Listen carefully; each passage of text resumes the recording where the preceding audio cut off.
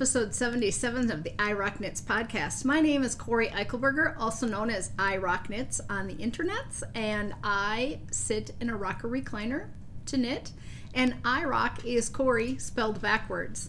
So that's where that come from. I just like to set that reminder up every now and then that I'm a rocker recliner knitter.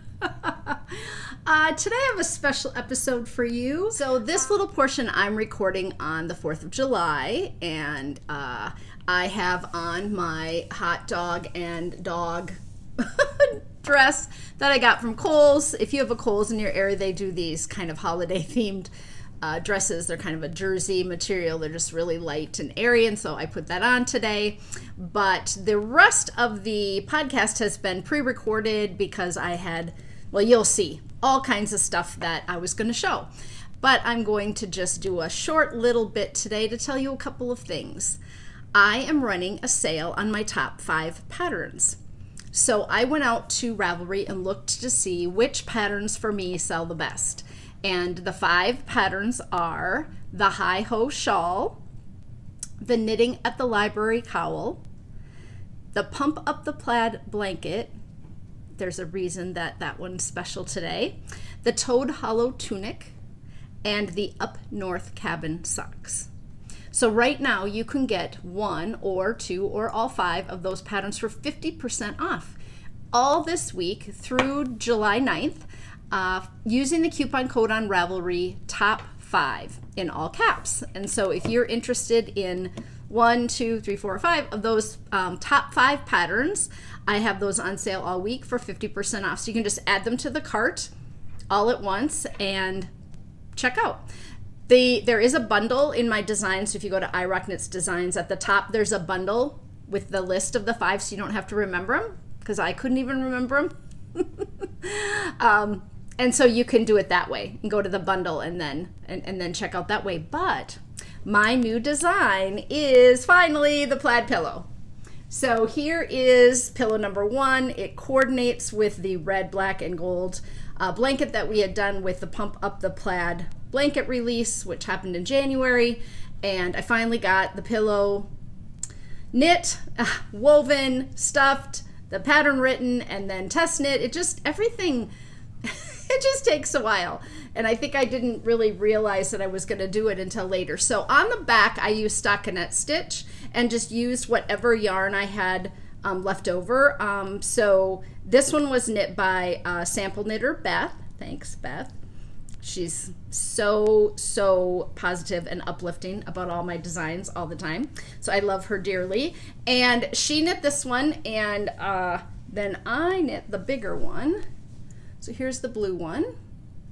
And like I said before when I talked about the plaid blanket, this is garter stitch. Plain and simple. You knit plain garter stripes. And then you just take a long, five inch long weaving needle and you go under and over the purl bumps in uh, segments of eight, eight, eight, and four. And you just leave the fringe off the side. And then on this one, on the back, I just put some stripes back here like this. You could do the back and garter. You could do the back in one color. You could do both sides as plaid if you wanted to. And then you just seam the two pieces together. So you just knit two pieces. So it's quite a quick and easy knit. So here we go. We have the blanket here and the pillow. Just kind of fun. I do know that a number of people who knit the plaid blankets had leftover yarn, so it's a perfect use for that. And we just three needle bind off to all the edges so you get this really nice, easy edge. You just have live stitches and then you just bind off and stuff a pillow form in it. So it really is quick and easy. These would be great for uh, kids' rooms, um, for a person that has bad back problems and wants just a small pillow to put behind their back in their chair.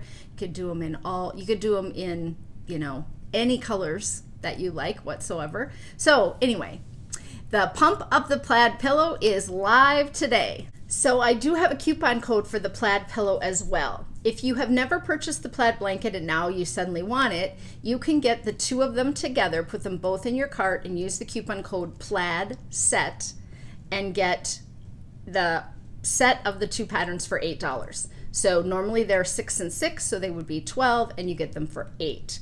Then I will also have just a plain coupon code for just the pillows to say you already own the blanket and you might have gotten that because you were a newsletter subscriber and you used that coupon code. Always subscribe to my newsletter on my website for coupon codes. I always send out coupon codes to those people as well, and you'll get $2 off the pillow using the code PLAID. So, capital letters PLAID or capital letters PLAID set, and you can get money off on all the things this week. Now I'm going to flip you back to a podcast that I recorded last week, and I hope you enjoy it all, and we'll see you all in two weeks. Uh, but let's start with what I'm wearing. This is my Friendship Road t shirt. It has been washed and laundered. Oh my goodness. I'm going to say 50 times. And this yarn just washes and wears like nobody's business. It's from the Minnesota 52 book. It's a t shirt. I wear it all the time. It's very soft and comfortable. If you're looking for an easy to knit summer t shirt, I would highly recommend it. Um, I have one in several colors and I do wear them a lot. Hi, did you come to say hello? Hi.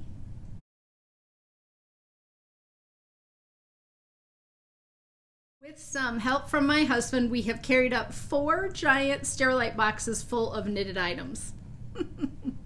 I have been thinking about doing this episode for a while, and uh, it's all about felting. Felted items. I have a lot of felted patterns out on Ravelry. Almost all of them are free. I do hope to update them someday, make them checklist patterns as well as to offer them for a price. But I thought it might be fun to just go through them quickly today and show you some of the things that I have felted over the years. Um, back in about 2001 or two, I moved to Richmond, Virginia, and lived in Glen Allen.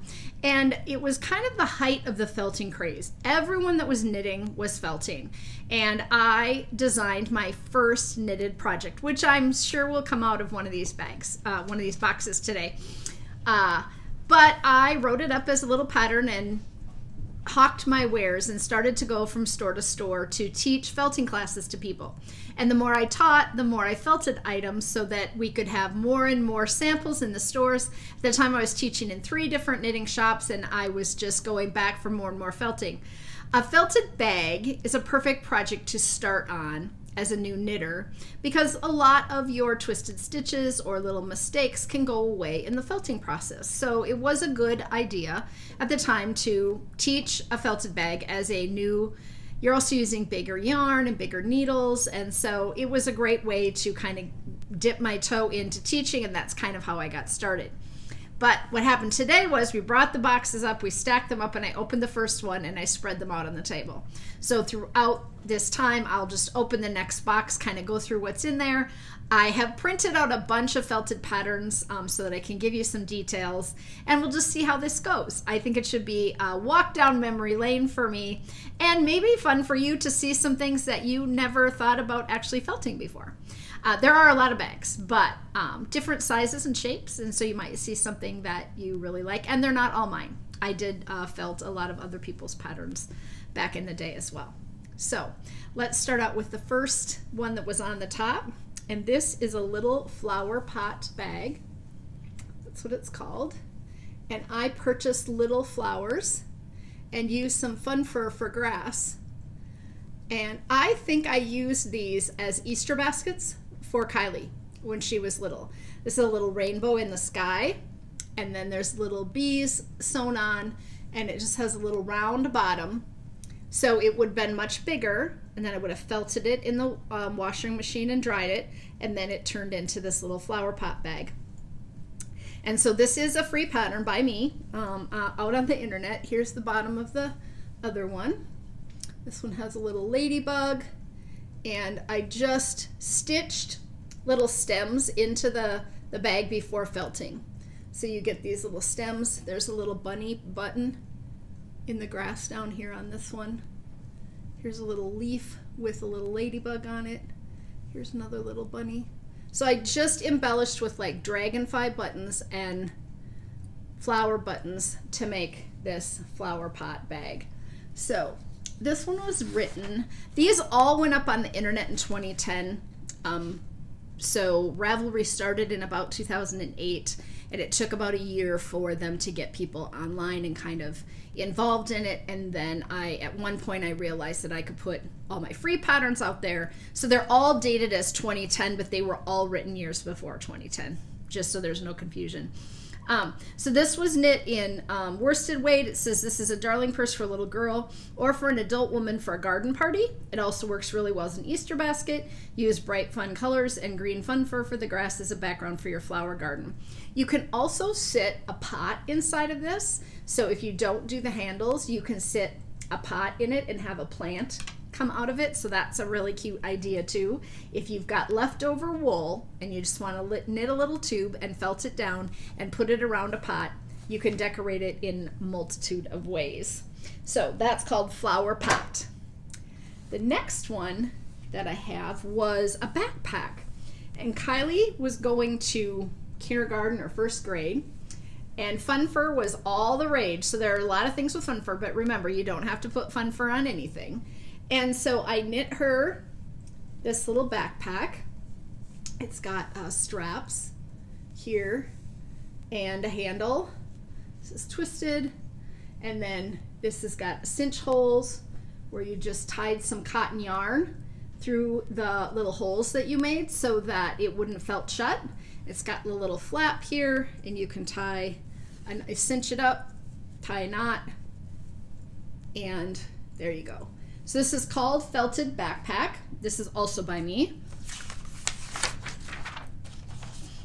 Uh, what did I say? Send your little one off with a custom knit and felted backpack in the colors of their choice, or make yourself a fun carry-all for your everyday errands. So this is also in worsted weight on a size 13 needle. So I'm guessing that on all these I held the yarn double. So this was the original one. That's Kylie's, and then this was mine at the time.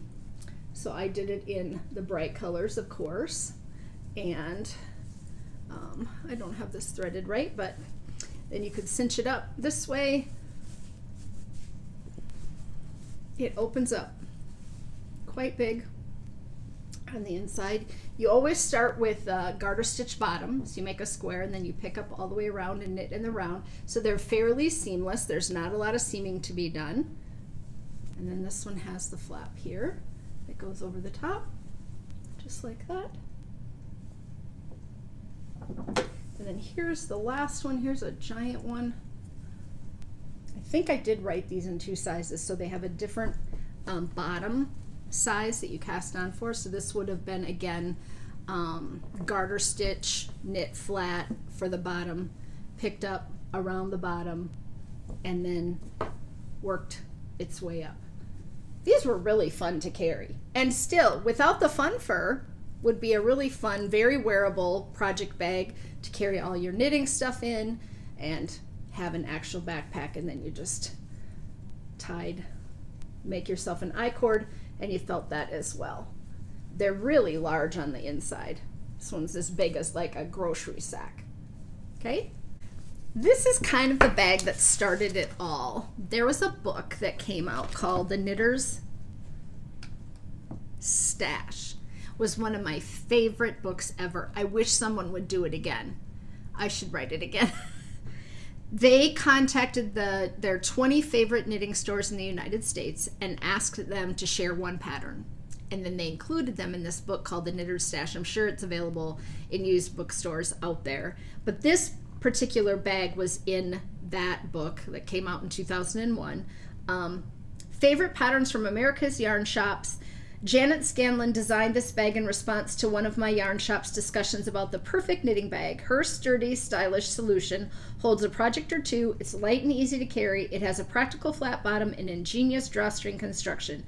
The felted finish is durable and water resistant. And this was the color of the original one in the bag and it's lovely because you knit this color work pocket felted it and stitched it on the outside and then it had this knob here for a closure that I didn't make. But you you could cinch it up this way by pulling the two ends in the opposite direction which is really super clever. It's a giant bag. There's the bottom. It, it's obviously I carried it because it's all full of you know, little felted balls that need to be gleaned off of there. But was a great project to knit. It was an Aran weight, um, 11 stitches to 4 inches on a size 11 needle. So big yarn, big needles, knits up really quick, and then you just you just felt it. So that was from Knitter Stash. Then we have the felted flower power purse and tote. So here is this came out in 2001, so it's your after 9 11 bag when we were all waving flags proudly, uh, proud to be American. Um, and then I just stitched a little red star on the front, and it's a big bag, square bottom, pick up, nice sturdy straps. Great, great big tote bag, bigger than my head on this one. There are multiple sizes in this. A perfect purse for any occasion, the size of a paper gift bag. It sits well with a flat base construction, opens wide at the top. The tote bag is the size of a paper grocery bag and is the perfect knitting tote. So there were two sizes. There was this big size, and then there was this smaller size. These get a little misshapen in the basement, but I think you can see there I sewed big buttons around the top of this one. And so that one is called Felted Flower Power. So here is the yellow version, Flower Power, that's what it's named for. And these sides will both, there's a little button over here and a little hook over here so that you can hook it closed if you don't like a bucket purse because it hangs open. So then you get that shape when you hook that little button uh, loop around the button and it kind of closes your top for you if you want it closed. Super cute. On it. This is a smaller, a round version. This is a rounder version of that same color combination, which is just really fun. Yellow and pink, hot pink. Okay, now I have a giant felted angel. Look at her. Oh, her nose is. Look at her. This is a Christmas angel. Used to sit under my tree or on my tree. I used to really have an affinity for little pineapples, so I put a little pineapple on her. And you could embellish her any way that you want. This was a pattern from two old bags. I don't know if you guys remember them. They were originally out of Minnesota and they um, they were formerly wool you order and you could order kits from them. Um, I was felting all the things at the time. I sewed these little pineapples around the bottom to hang on there as decoration. I'm not really sure why, because I mean, pineapple is a sign of hospitality in Virginia, and so I must have wanted to embellish her and to have her be a little more not quite so homely. But isn't she cute? All right. Felted Angel by Two Old Bags. Okay, I did find the Two Old Bags website, and they do still have all their felted patterns available out there. So you can still get a lot of felted patterns from twooldbags.com. This is the original bag that started it all. I figured it would be in here. I saw a woman at a yarn store in Minneapolis before we moved to Virginia who was carrying a felted bag. And I said, What's the pattern? And she said, I just knit stripes and felted it. So then I, when we got to Virginia, I sat and figured it out. So you knit this bottom square, pick up around, use up all your felted wool scraps, just stripe it randomly or do a rainbow or whatever you choose, and then add the, the straps to the top and you get just a really cute little purse. This one is under felted rainbow stripe bag as a free pattern on Ravelry and I have several iterations of this one as well. Then this is probably one of the more popular ones that I actually knit. This is the pumpkin bag. It's shaped round like a pumpkin and very full. And I knit 20 of these, right? Like everybody wanted one at the time. It was fall. It is, I wanted to make the perfect fall knitting bag, and this is what I came up with. I love the tote size version for all my knitting projects, and because it's felted, your needles won't poke through. And the smaller purse size is a real show, shop, showstopper for carrying around town. So it's a, this is the giant size, and it is big and has um, like gathering in it. So it comes in, um, it's real big and comes around. I don't know if you can tell how absolutely big that was, but it started out with this more octagonal shape on the bottom. Wasn't really a circle or a square. And I picked up around. Okay, I'm racking my brain, going way back in time. So that's the pumpkin one. And then I did messenger bags. So lots of messenger bags. I I think they were popular back during this time. So here's one with a flap over the front. This has like uh, little bits of the yarn in here for decoration. So there's one striped. This has just got a narrower bottom that you pick up around. You make a garter bottom and you pick them up. And then here's another one with Fun fur it had my initial, but then it also had a, a handle back here.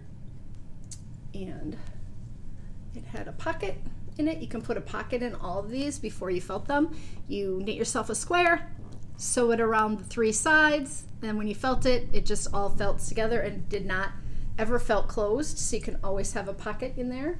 So that's another messenger bag.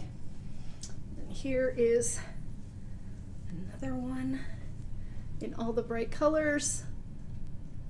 And some more fun fur. The flap can also be tucked inside. But it is also a crossbody, right? So you get kind of that crossbody flat look. Most of the straps I did were garter stitch, just working back and forth and knit at a little bit tighter gauge usually and then felted hard um, to make them so that they don't stretch out. usually make them a little bit shorter than you think you want them and then when they're wet you stretch them to the length you want them while they dry.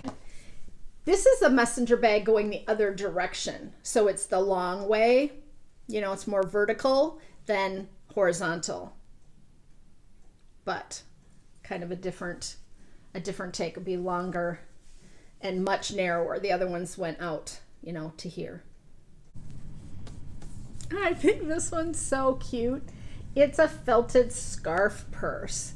So you have your little scarf and then you just tie it around there. I can't believe I have this little scarf still on this bag after all these years. It's just hanging out there. You just tie it on the front of your go weaves in and out so you can make the bag shorter or smaller. This one actually has a welt around the bottom where you did a piece of folded um, knitting around the bottom and then it kind of sat on that that bottom piece. Of course, it won't sit now because it's been flat in the ba- in a box in the basement for a few years. But yeah, that's kind of a cute one. This that's called felted scarf purse. Boy, I was original back in the day. I called them what they were.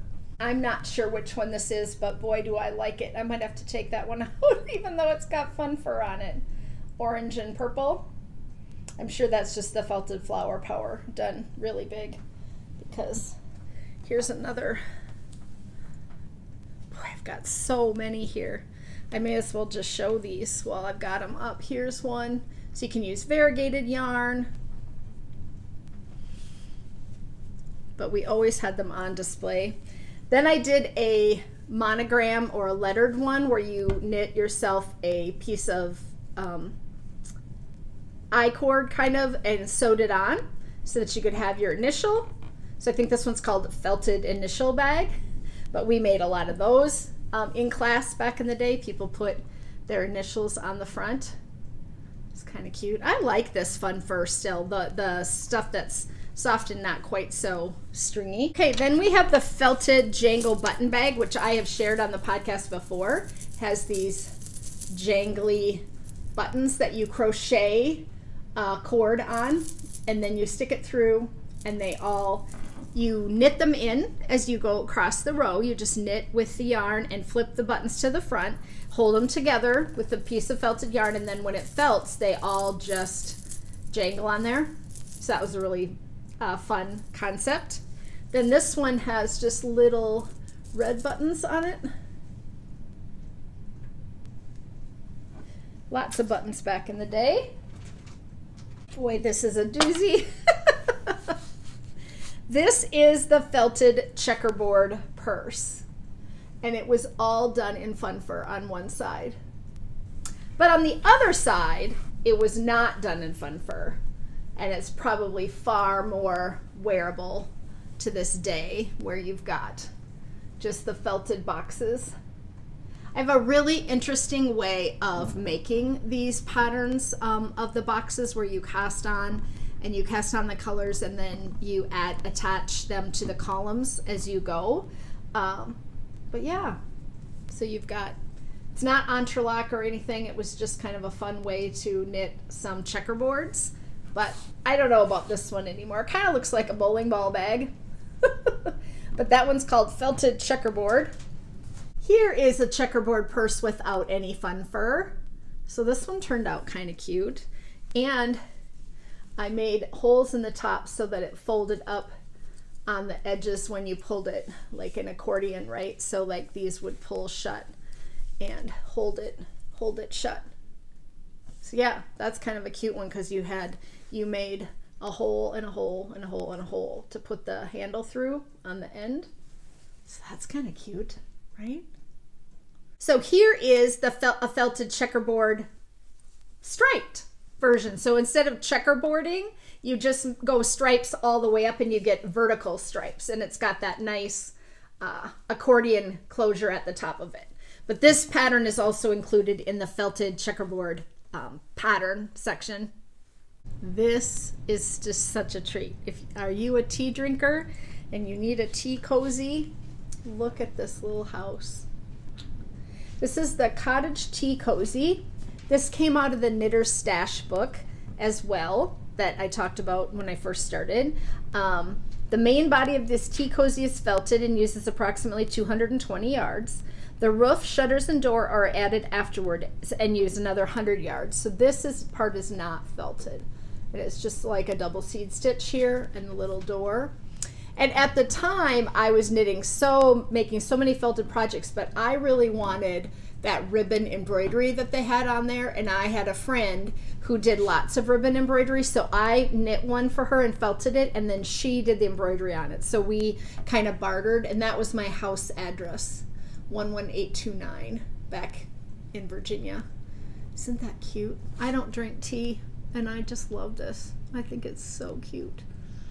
I've never used it for tea. I think I set it out as a decoration over over a jar or something for a while because I just thought it was so darling. But that's from Knitter's Stash called Cottage Tea Cozy. Um, Aran weight 16 stitches to 4 inches, US 8 and 10 and a half needle. Super cute. Memories. Going back. Look at this little sheepy guy. Isn't he cute? He's got a little bell around. I'm sure Kylie played with this when she was little. These are so cute.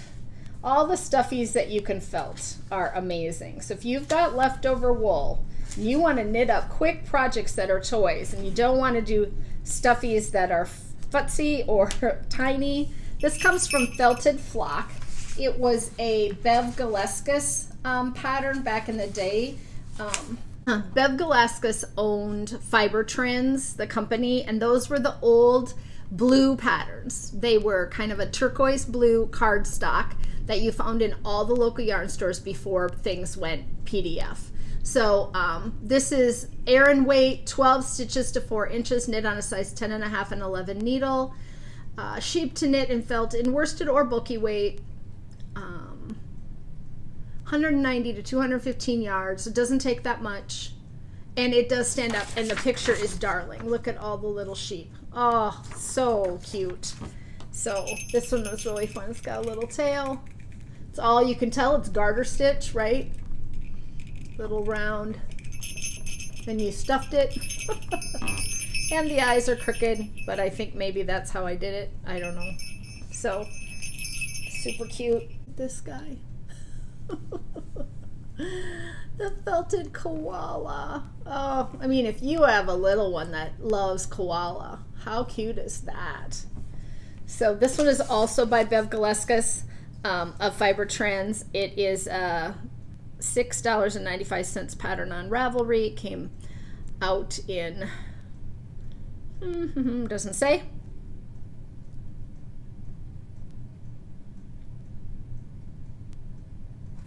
And it can lay this way. Hmm.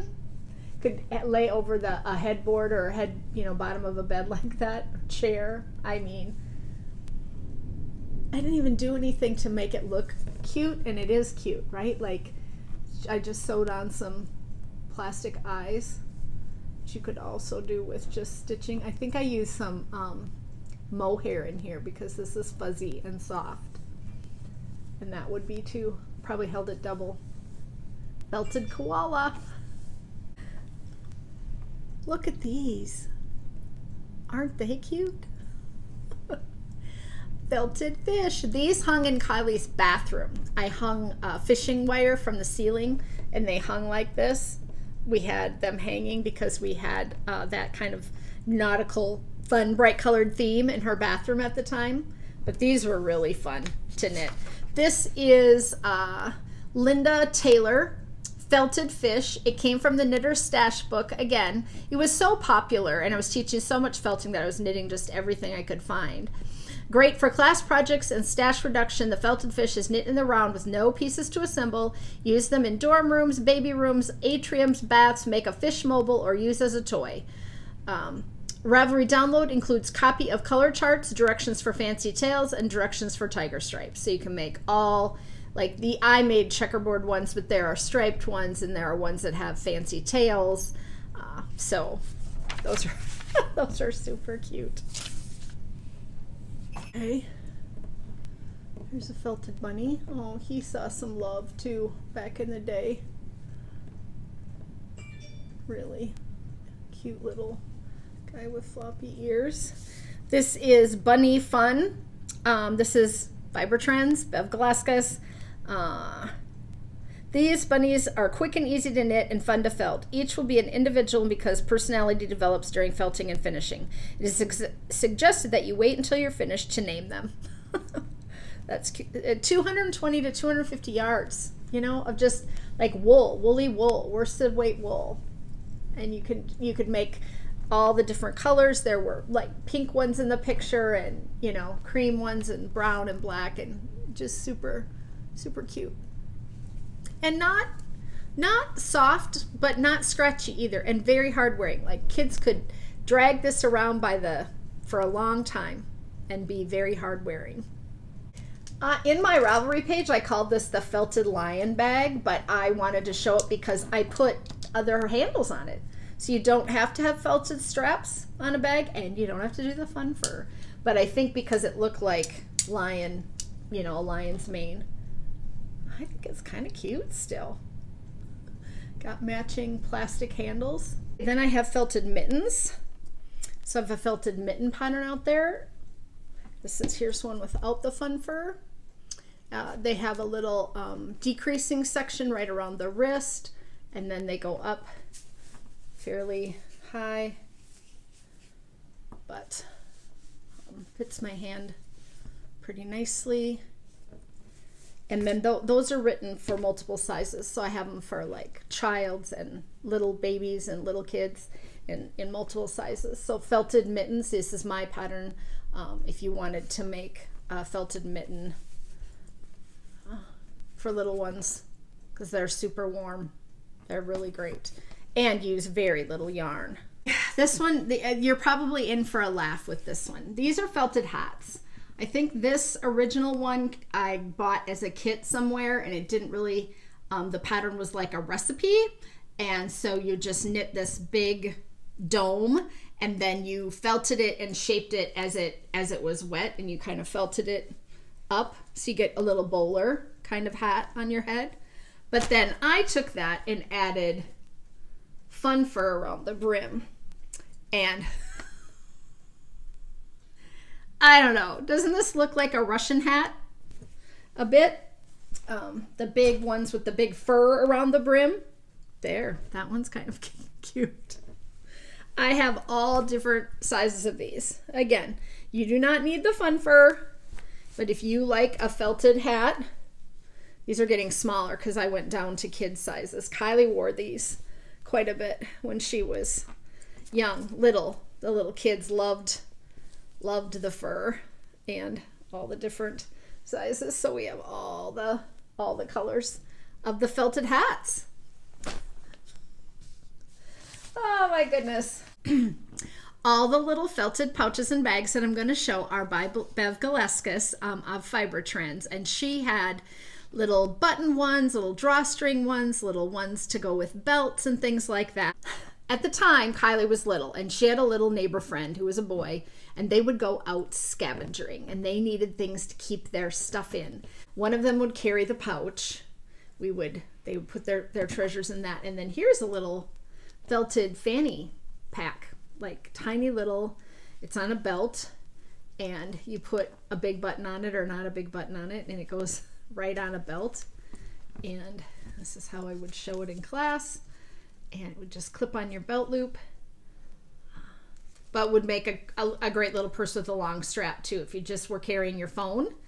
So we would put a phone around and make a little felted phone case to carry around your neck or whatever. Like if you're just going to it to you just want your phone, you don't want to lose it, you don't want to drop it You could just make yourself a little. There's another little pouch, same concept, but the little I cord goes all the way down and around the bottom. So you make a little pouch. Here's a little bucket, tiny little round bucket bag with fur that she could carry crossbody. Oh, the kids used to play with these. You know, they just played dress up and craziness, just all the things they would put them on their stuffed animals and other one.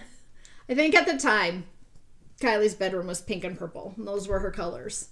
And so we had a little border in her bedroom, and so I did a lot of little pink and purple things, but just giving you an idea. Then, because hats and purses and stuff with fun fur is not enough, you might want to knit yourself a vase cover so you could felt yourself a vase co- cover. And I used to sell this concept to people because do you know when you have a glass vase and you have your flowers in it and then the, the water gets all crooky and the bottom of the vase looks kind of bad? This one just didn't even have it. It's just a tube that you felted and slid over it. And it just looks super cute.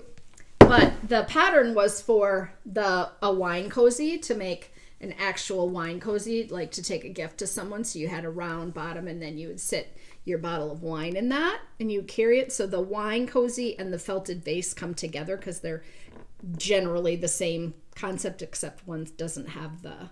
But if you just wanted to knit up some tubes for Christmas and give everybody a bottle of wine and some cheese and crackers or whatever, you could just knit these up like easily in a day and have just a felted wine cozy that then they can pass on to other people and you can put a tag on it that says you know pass it along and people can to all of the parties in december that hopefully we can all go back to. But that one is i wrote this pattern after doing a display of flowers for a knitting shop window. These felted vase cozies are a wonderful gift and cover up that old clear glass vase and hide any stems or dirty water from showing add a bottom and a handle and you have an easy wine cozy. Yeah i remember we did uh, flowers in a whole window shop and we did, we're using felted things and so that's what we we use that for. I have felted ornaments. I know this one is a popular one that people download still quite often. Uh, i have a bunch of different felted items that you can use um, for ornaments. Um, i have a little hat that's felted and you can stitch on the outside. I had a little stocking. Then I also have these all in miniature. I think the rest of my felted ornaments are in with my Christmas stuff. Um, they're really um, more miniature. I'll put a picture in. Then I have probably the one that I carried the longest and still do to this day sometimes. This is the felted watermelon bag. This is such a fun summer bag at the time, a woman at the yarn store was selling these ceramic buttons and they're shaped like watermelon seeds. And so I thought, oh, is that perfect or what?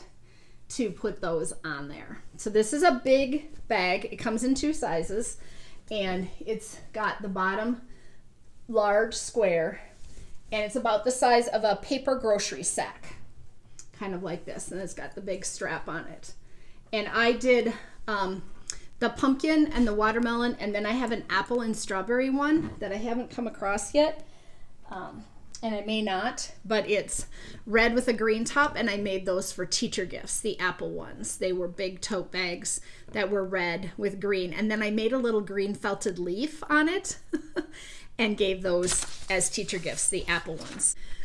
I also have one of these in my Christmas stuff downstairs, but this is a felted front door mitten.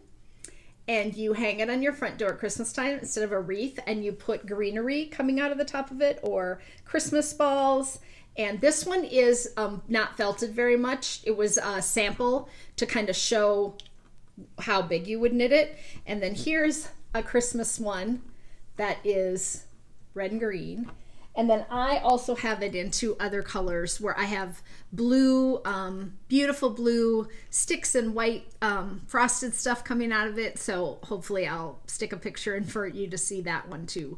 I cannot find a link to a pattern for these. I don't know if it got taken down or if I just made them up at the time. I might have just made a giant felted mitten, cast on a big number, and then then made them, but they were in the in the box over here. We used this for years. This is a felted checkerboard. And we bought big red and black discs, plastic discs. I think we had wood for a while too. Um, but it's called felted checkerboard and this is one of my patterns and it's knit with that interesting concept where you cast on all the stitches and then you work up a row and then you pick up along one edge and you work up the next row and attach as you go. It's a really fun way to do something completely different, but this was um, just kind of a fun thing to have on the coffee table at all times, um, where you would just be able to play uh, checkers. This is a darling felted hat with a blue boucle yarn edging that's not felted. Can you see the texture on that? Oh my gosh. I we knit a lot of these in classes. This was by a pattern from Yarn by Mills, and I don't have a link on my Ravelry page, so I'm guessing that the kits and stuff aren't available anymore. I'm you know, I can try to keep looking, but I didn't spend too much time this morning. But this is a great little hat, right? Like, oh, it's just it stretches a little and then it's got this wide band. Super, super cute and fun. This is one of my favorite felted projects. I used it for a class sample. In many of the felting classes I taught, a great fitting hat and looks cute on almost everyone. I will try to come up with where that came from if people are interested.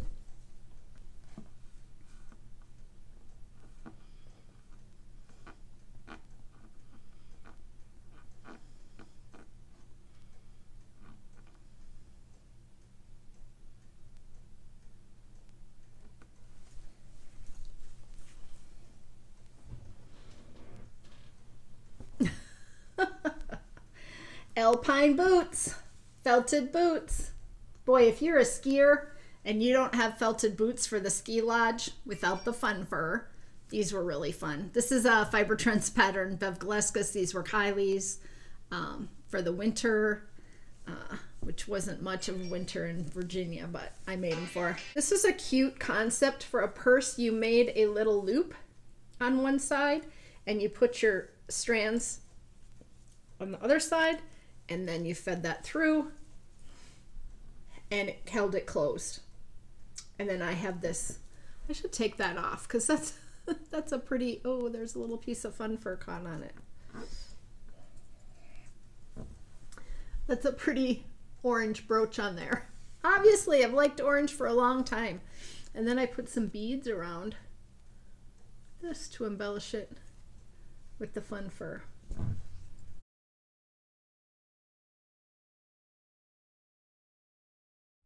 Felting, washer, flip flops, jeans, hot water, agitation.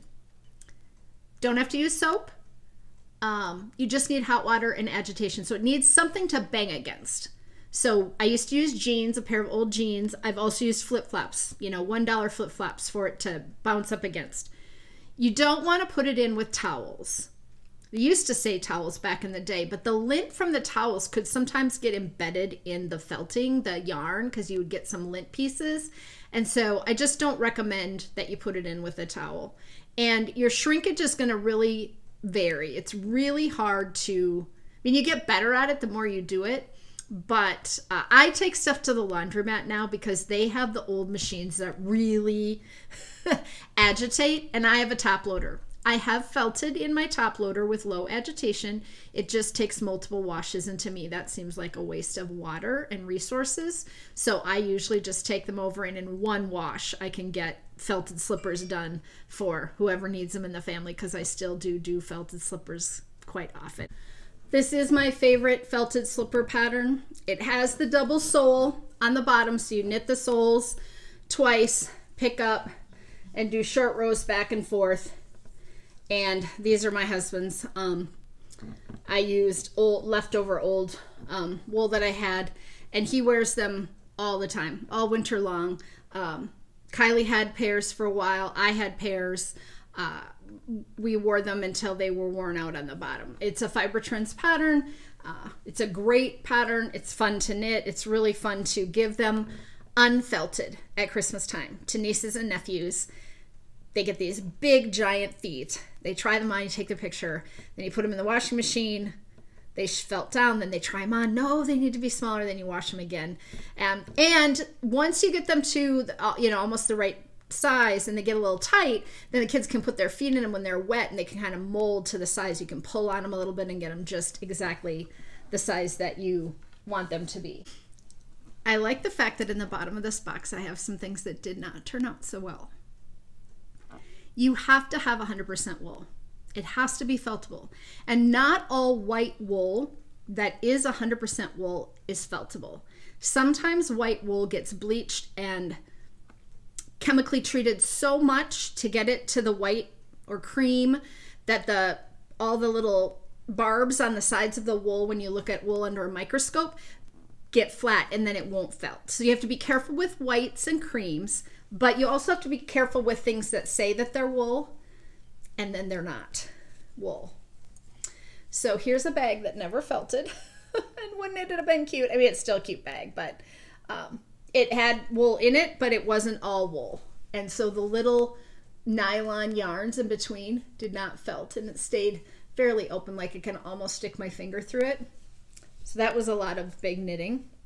And then this one didn't felt great. It felt okay, but it's still a little open. This one has a K on it for Kylie.